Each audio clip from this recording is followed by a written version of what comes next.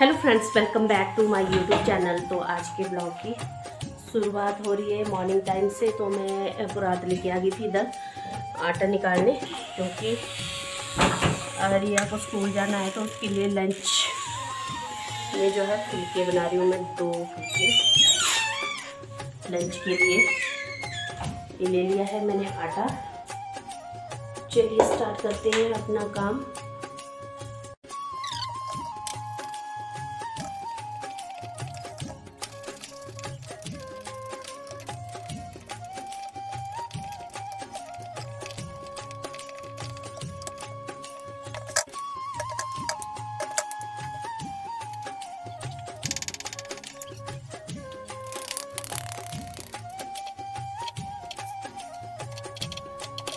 तो lunch pack हो रहा है यहाँ पर। यहाँ पर भिंडी की सब्ज़ी और है पानी की बोतल और साथ में दो चपाती।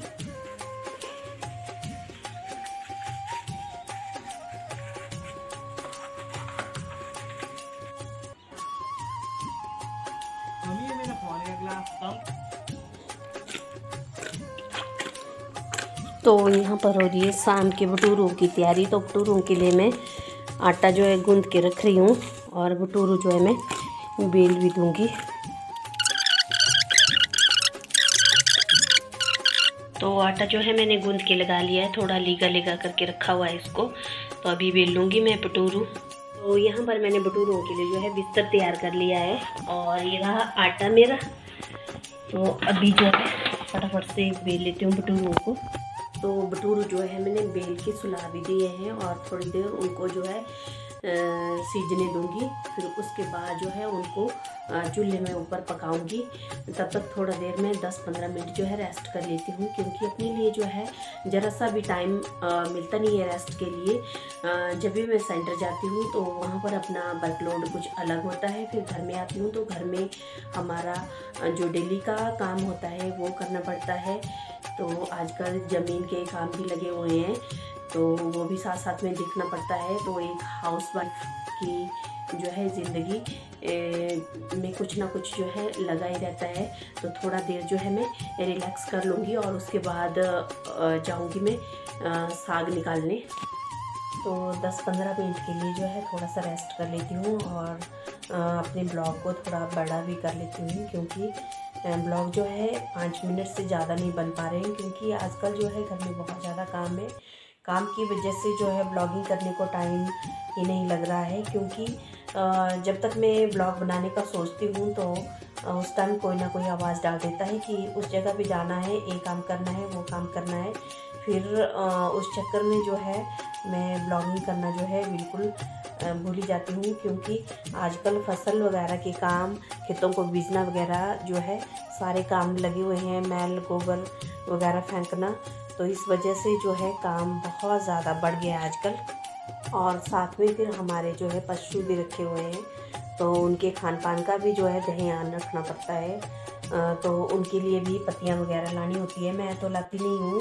लाते तो मेरे हस्बैंड है लेकिन फिर भी कई बार साथ में जाना पड़ता है, नहीं तो मोहित जाता है साथ में। तो ये भी एक काम होता है करने को।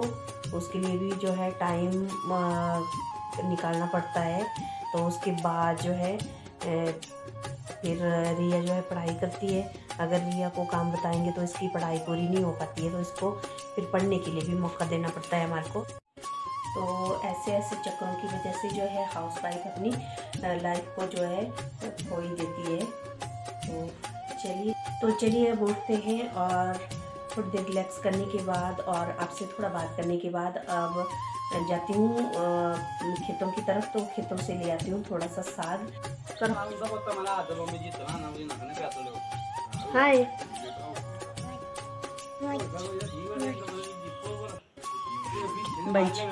तो अभी जा रही हूँ मैं साग लेने। आज मैं किस चीज़ का साग निकाल रही हूँ मैं दिखाती हूँ आपको।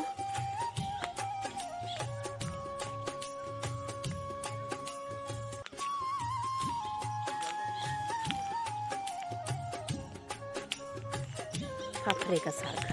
तो ये वाला साग निकालूँगी मैं अभी। इसको बोलते हैं फाफड़ा। तो ये स्वाद में जो है खट्टा खट्टा होता है और गर्मियों में ठंडा भी होता है साग।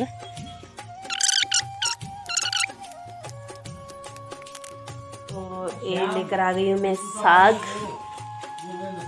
ये है चुलाई का और ये है कचालू के पत्ते और ये है फाफड़ा।